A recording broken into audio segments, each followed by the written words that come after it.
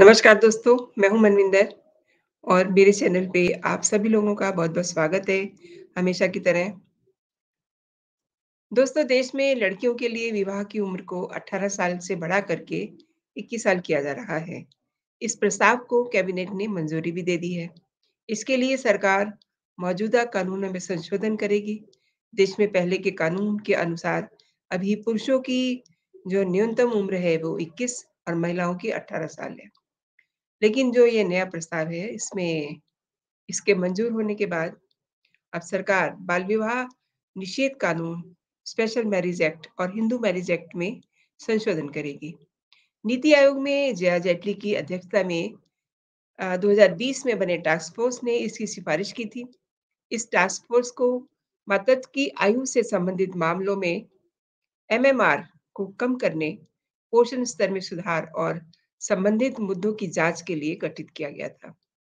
Task force का ये भी कहना है कि पहले बच्चे का जन्म देते समय अ, महिला की बच्चे की उम्र जो है वो 21 वर्ष होनी चाहिए और विवाह में देरी का परिवारों, महिलाओं, बच्चों और समाज के आर्थिक, सामाजिक और अ, जो सेल्फ हेल्थ होती है उस पे अ, पॉजिटिव इफ़ेक्ट पड़ता है।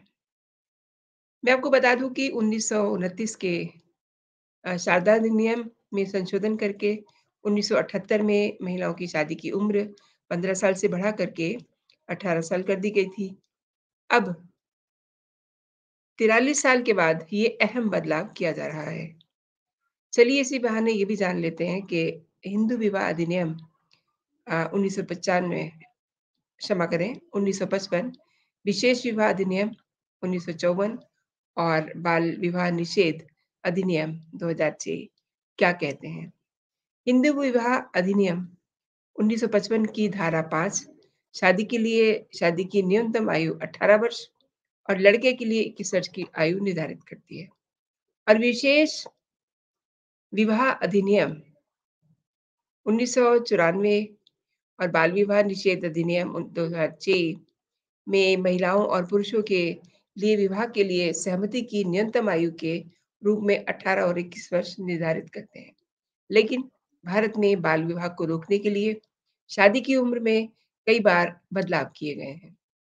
केंद्रीय वित्त मंत्री निर्मला सीतारमन ने 2021 के अपने बजट भाषण के दौरान टास्क फोर्स के गठन का ज़िक्र करते हुए ये कहा था कि 1929 के तत्कालीन शारदा अधिनियम में संशोधन करके 1978 में महिलाओं की शादी की उम्र 14 साल से बढ़ाकर 18 साल कर दी थी।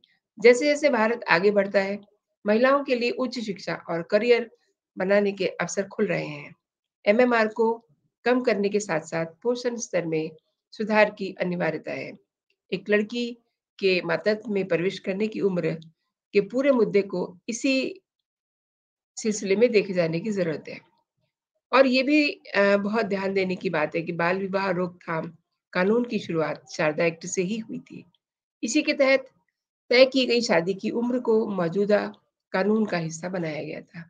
आज़ादी से पहले कई बार लड़कियों की शादी की उम्र तय की गई उम्र के अनुसार नहीं होती थी और लोगों को ज़्यादा कानून का इतना डर भी नहीं होता था।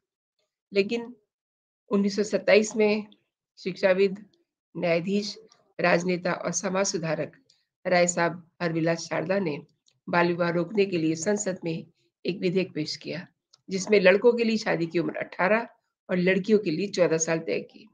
शारदा एक्ट के तहत बहुत कम सजा का प्रावधान था। कानून तोड़ने वाले को केवल 15 दिन जेल या थोड़ा-सा जुर्माना देना पड़ता था।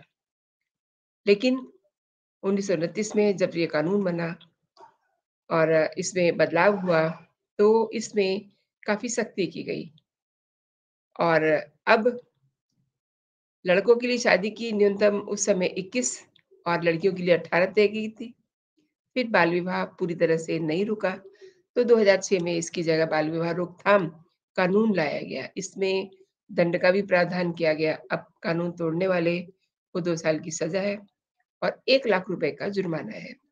तो दोस्तों, अब एक और नया बदलाव हम देखेंगे कि ये किस तरीके से जो सामाजिक बुराइयाँ हैं, उसको दूर करता है।